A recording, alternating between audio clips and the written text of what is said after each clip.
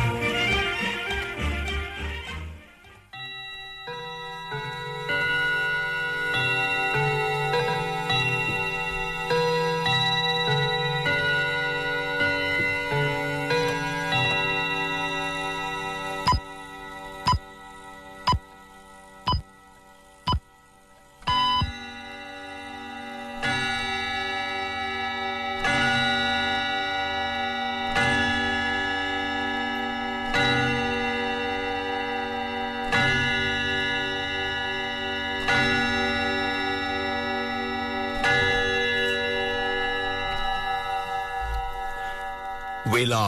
8 นาฬิการั